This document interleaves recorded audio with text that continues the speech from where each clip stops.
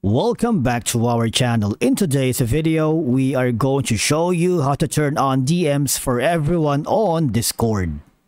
Let's begin. Now, the first thing you need to do is to log in using your credentials. If this is your first time here in Discord, click on the register option. And from here, just follow the on-screen instructions and you're good to go. Now, allowing DMs from everyone can facilitate better communication and networking with a wider range of people on Discord. And this can be especially helpful for community managers, event organizers, or those looking to connect with new individuals who share similar interests.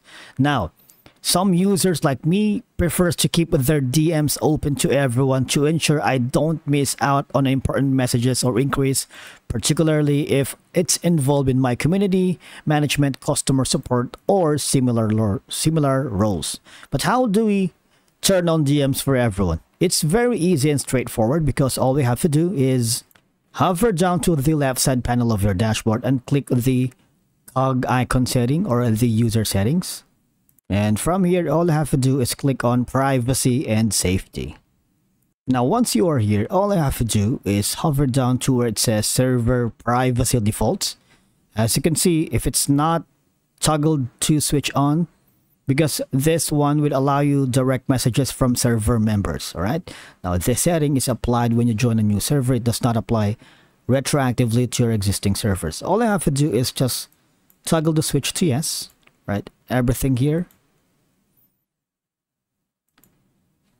This one it allows access to age-restricted commands from apps in direct messages. Of course, this setting applies to all apps. It will allow people 18 plus to access commands marked as age-restricted in DMs.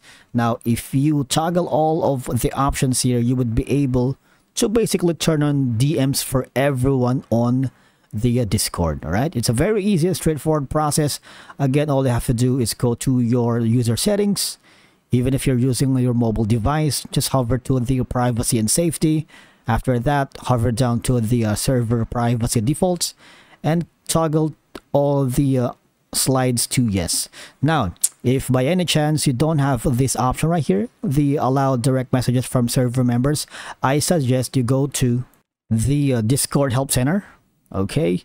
And from here, they would be able to uh, help you troubleshoot how to turn on DMs for everyone in Discord if by any chance you can see that option on the server privacy defaults. Right, these are the channels that you can contact the Discord support. And from here, I believe that's a wrap for today's video. Thank you so much for watching and we will see you in the next one.